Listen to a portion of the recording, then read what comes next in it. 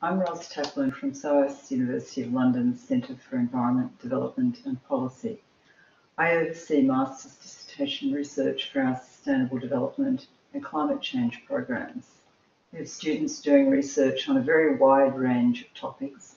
There are multiple ways of addressing sustainable development and climate change and making a contribution to adaptation and resilience. US economist Elinor Ostrom, who was awarded the Nobel Prize in Economics, observed that polycentric involvements of individuals and groups in local action can eventually result in influencing government decision making about climate change. One area that I'm researching is on the contribution of artists to the climate communication. For some artists, their influence about climate change has spread much farther than their own countries. Their art is an exploratory and creative intervention into the political, an attempt to influence where other paths have been blocked.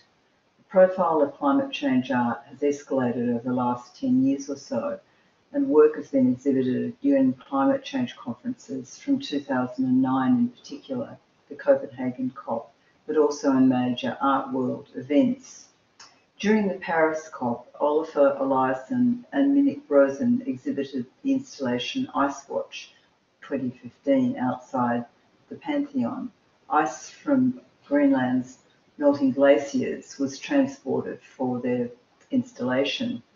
They redid Ice Watch Tate Modern in London in December 2018.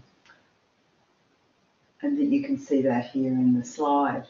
While at the Paris COP in 2019, Sun and Sea was a, another uh, contribution to uh, climate change art. Sun and Sea Marina, which was a performance art from Lithuanian artists and it drew crowds and much media interest.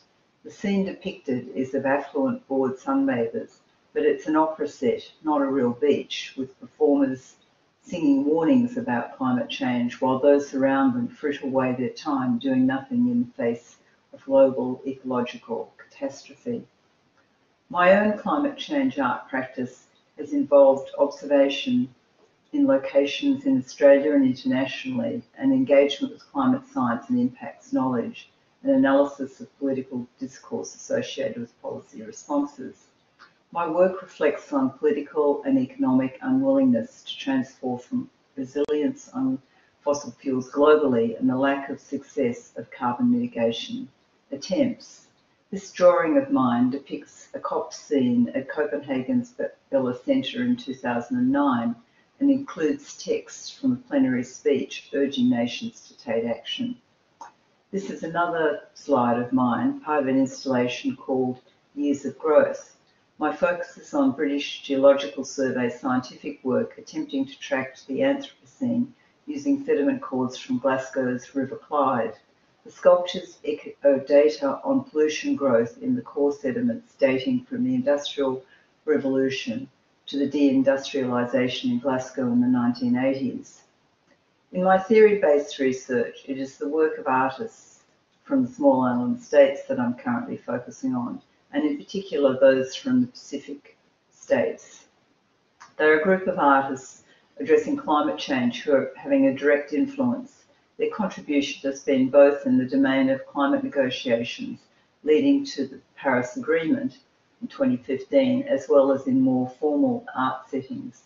At the Venice Biennale in 2017, as shown in this slide, the small Pacific island state of Kiribati drew attention to its climate change predicament with the installation Sinking Islands, Unsinkable Art in the newly added Kiribati Pavilion. As well as Kiribati, artists from Tuvalu and also in the Indian Ocean, Maldives have had clout at recent Venice Biennales. So that's just a little bit about my research. If you're interested in doing a master's at, uh, at our centre, please don't hesitate to get in touch.